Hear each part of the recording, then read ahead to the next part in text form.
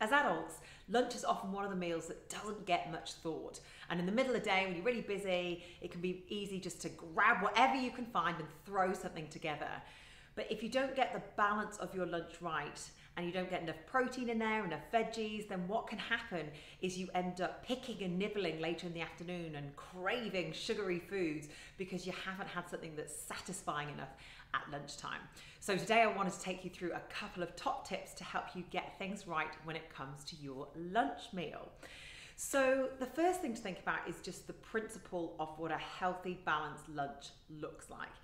And really if we go to a, a plate, what we want to make sure is that we're getting at least half of your plate being non-starchy vegetables. So two good sized handfuls, like literally full handfuls of vegetables that are non-starchy or low starch. So that means everything that's not potato, kumara, um, and pumpkin basically. So those vegetables, they are great, but they need to be categorized in your kind of carbohydrate portion of the meal. So if everything else, two good handfuls. So when you're thinking about a sandwich, you know, that means it has to be stuffed to the brim full of vegetables.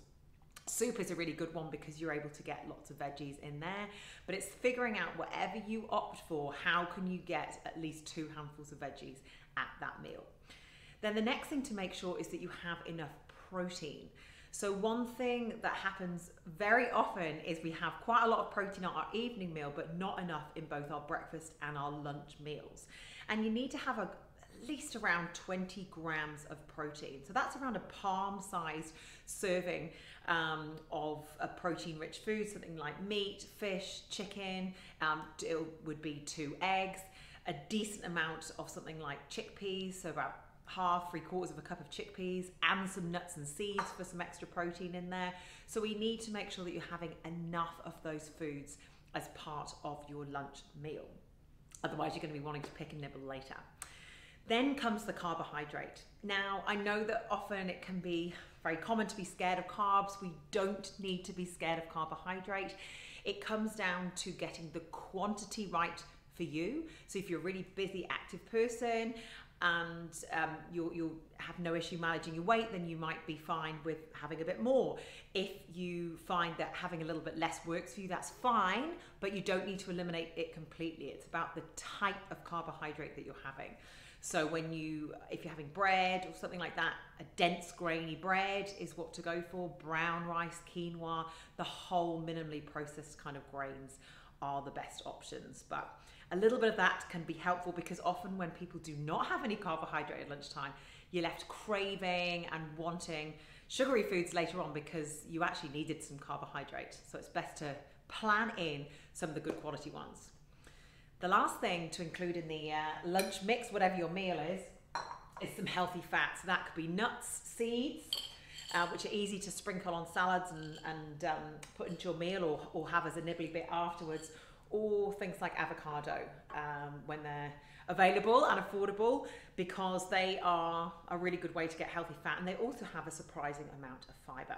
So that's the balance overall. Half a plate of non-starchy veg, then around a quarter of your plate ish um, of your carbohydrate containing foods, which would include things like potato, kumara, um, and your pumpkin.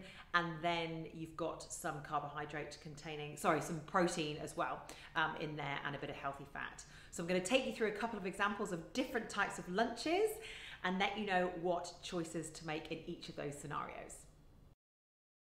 So first off, soup. Soup is a fantastic thing to have for lunch. So I actually make a batch on either a Saturday or a Sunday in the cooler months and have it in a jug that sits in the uh, in the edge of my fridge and then it's kind of available for lunches during the week. So really, really good option, also very affordable and you can use whatever vegetables are available. Uh, the main things to consider with soup is it's great that it has lots of vegetables in it, but just having a plain vegetable soup is not going to keep you feeling full all afternoon. And it's really easy also to think, well, I'm having soup, then I need toast with it. And there's nothing wrong with bread, but you'd probably be better off by actually adding some carbohydrate into the soup. So that could be using barley in there. It could be having plenty of chickpeas and other pulses, which have protein, but also carbohydrate in there, or using a bit of um, the starchier vegetables. So it's if you're going to have soup as your main kind of component of your meal and trying to get all your vegetables, your protein, and everything else in there, it is important to make sure that you're getting enough of um, the, the starchy foods in there as well. Protein is something that can often fall short in um, in a soup, so it might be that you want to have a couple of crackers on the side with maybe some tuna or a little bit of cottage cheese or hummus with it to kind of boost the protein up, depending if you've got something like chicken in the soup or not, because if you have, you're getting a bit of protein there, but you may need to kind of supplement it. But it is a really, really good, easy meal that can be very, very nourishing and also very affordable.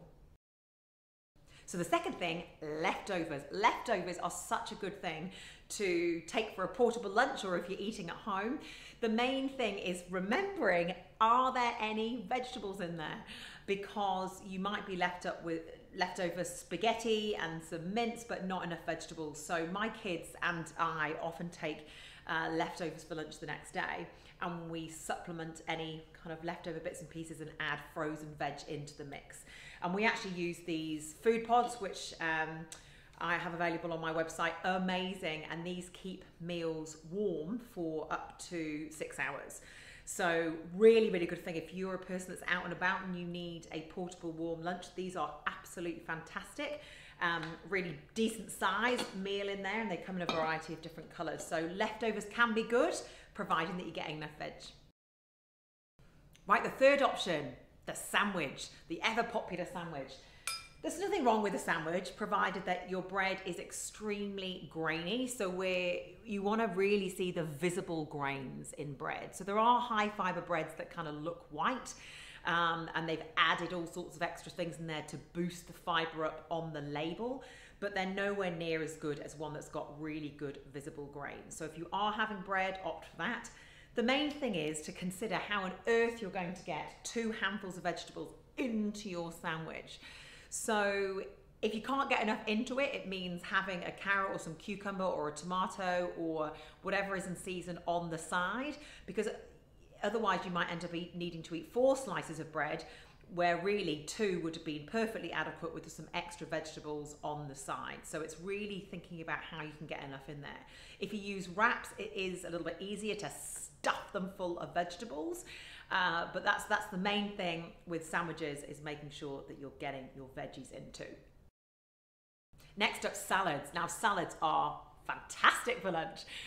One of the things that often happens though is the opposite of the sandwich situation where you might have a salad where you have coleslaw or um, lettuce, cucumber, tomato, that kind of thing, and some protein, can of tuna, put some leftover chicken in there, and then you don't have any carbohydrate in there or healthy fat. And what that means is that you're going to be really hungry at three o'clock in the afternoon because even though your salad was like super you know, nourishing and had all sorts of good things in it. It does it wasn't overall balanced. So I see so many people that kid themselves with the whole salad thing and don't actually add enough of the carbohydrate and fat in there and then um, the problems kind of unravel later so if you are having a salad add some roasted starchy vegetables in there some kumara some potato plenty of chickpeas in there you might want a little bit of um, brown rice or something like that or have a couple of crackers with it to make sure that you're getting enough carbohydrate and definitely add nuts, seeds, avocado